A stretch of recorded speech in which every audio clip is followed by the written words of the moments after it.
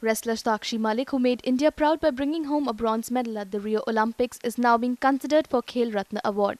Expressing a delight on this announcement, an elated Sakshi said she was honored that she was being considered for Khel Ratna.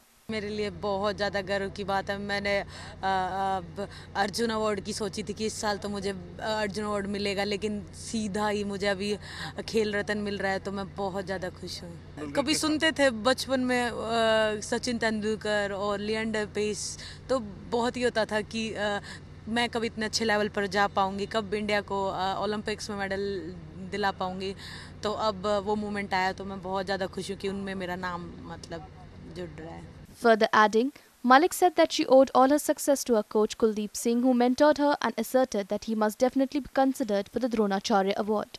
आपको जो महान सम्मान मिला खेल रहे आपको लगता है आपके कोच को भी द्रोणाचार्य का सम्मान मिलना चाहिए? क्योंकि आपके सक्सेस में उनका बहुत महत्वपूर्ण योगदान है। जी बिल्कुल आ, क्योंकि जितनी एक खिलाड़ी की मेहनत होती है उतनी ही कोच की मेहनत होती है।